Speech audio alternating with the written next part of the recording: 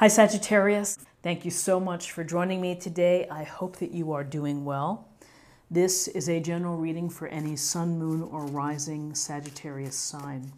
We're going to take a look at the cards for awareness, for guidance, and for possible outcomes. I'll also pull a few oracle cards for additional information for the week. Okay, so we have the Ten of Pentacles, we have the Six of Wands, and we have the major arcana card, the Fool. So the Fool makes appearance uh, again this week. So with the Ten of Pentacles, you know, we are dealing with matters of the family, and we're dealing with uh, the resources and perhaps the finances, the money, and the investments of the family. There's a card here of legacy. And you see the patriarch, you see the couple, the dog, the kids. And there's a sense here of doing what you need to do to establish the security and the stability and the foundation of your family and for your family. And whether that includes grandparents, extended family, cousins, uh, you're you're looking toward the benefit of doing things for the benefit of the family. So your priorities might be to review, uh, you know, the will, medical power of attorney, to look at investments, to look at ways to save money for your child's uh, college education or other endeavors that they're pursuing. But there's a focus and a direction on the family and the resources, the money, and the time of surrounding the family and for the benefit of the family. So, you know, as you're working with your family, perhaps, as you're having these discussions, as you are making it a priority, here we have the Six of Wands. And the Six of Wands, we see the rider walking in. He's wearing a green wreath. He's holding a wand with a green wreath, and he's got some people behind watching.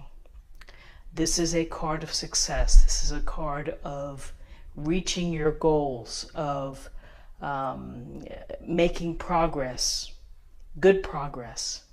And you are feeling proud about your achievements. You are feeling that you may be getting recognized so if this is a Six of Wands that relates uh, to your work, this could could mean that you're going to get a bonus, or maybe you get a, a, a raise, or a promotion, or you might get a nice letter from your boss, or a pat on the back. Job well done. Behind this, there's a sense that you've shown some discipline and that you have uh, taking care of the steps and the things that you've needed to do in order to become successful, in order to become uh, or to realize this achievement. And achievements don't always have to be huge, overriding, year long things that you're working on. They could be short and sweet goals that you've uh, put down and that you hope to achieve and hope to accomplish. So, this rider is looking in the direction of the family. So there's a sense of perhaps that things are going well. If you are uh, trying to save money, if you are trying to, again, enhance the stability of your family, it seems to be working and working well. So, with this sense of success and the focus on family, finances, investments, resources, the, the love and care of the family. Here we have the Fool. And again, the Fool represents this opportunity for you, and it's an opportunity after you've had self reflection, after you've had a chance to think about where it is in the path that you're going to be walking.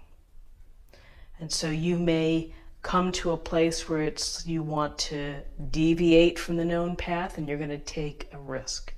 You're going to take that leap of faith.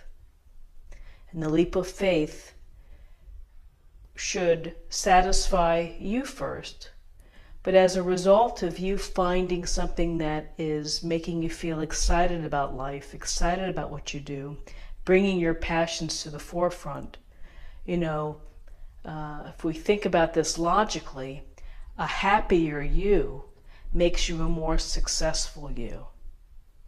And the people in your family can see that, you know, there's a pep in your step when you're able to do the things and follow the path that you've been thinking about or hoping for. And the Fool brings that potential and the feeling that, yes, I think I would like to try that. And I'm going to go ahead and throw my hat in the ring. So there's taking a leap of faith, and then there's taking a dangerous risk. And again, it's unique to everyone and how you have to approach it and how you have to think about the impact on your loved ones and, and your family and the mortgage, etc. But the fool, you know, the, the dog is either really excited to go with or is saying, look out. Be careful where you step. You may fall right off that cliff.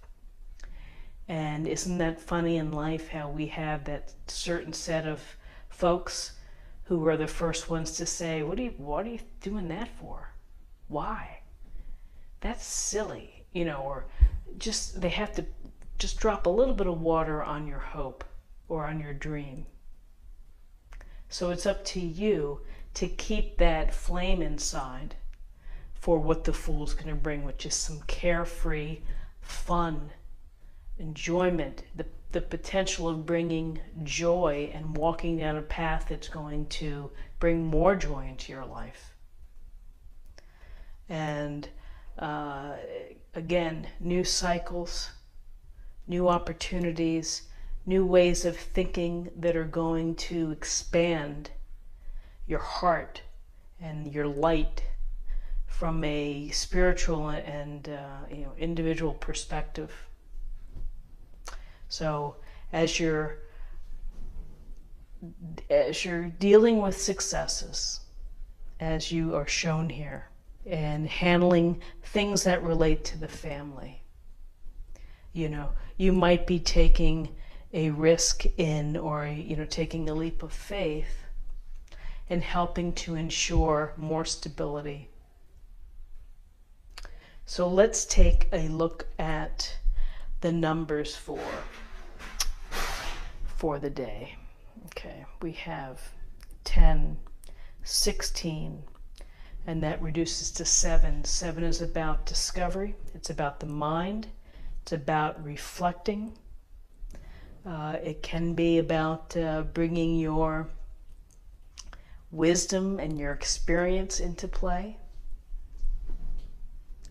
And then finally, I'm going to choose an oracle card and we'll get a little more information.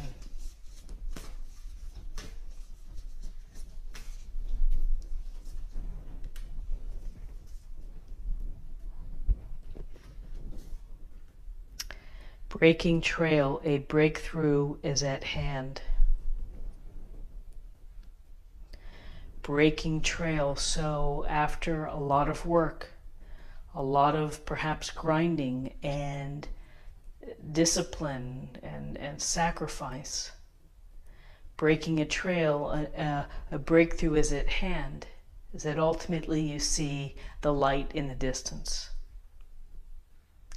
And so perhaps this is a breakthrough of your mindset, of the things of where you want to head in the future, and that you realize that you might have to open it up a bit.